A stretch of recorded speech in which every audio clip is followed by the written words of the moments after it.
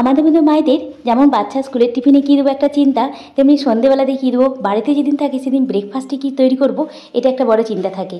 আবার এমনও মনে হয় যে কম পরিশ্রমে বাচ্চারও ভালো লাগবে, বড়দেরও ভালো লাগবে সেই রকম কিছু বানিয়ে ফেলি। আজকে সেই রকমই একটা তোমাদের সঙ্গে খাবার শেয়ার করছি, যেটা বাচ্চাদের তো খুবই পছন্দ, বড়রাও চায়ের সঙ্গে কিন্তু খুব আনন্দ সহকারে খাবে। দেখো না এটা কেমন হয়েছে। হাই আমি Monmun welcome back to my channel আশা করি তোমার সকলে খুব ভালো আছো, আমিও ভালো আছি।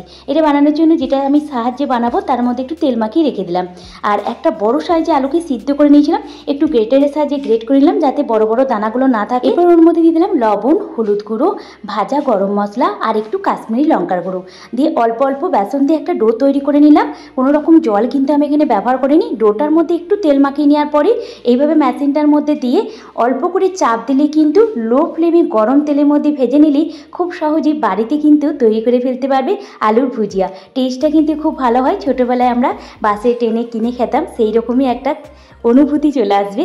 অবশ্যই একবার হলেও বাড়িতে বানিয়েও ভালো লাগলে লাইক শেয়ার সাবস্ক্রাইব আজ তাহলে এখানে ভালো থেকো, সুস্থ থেকো।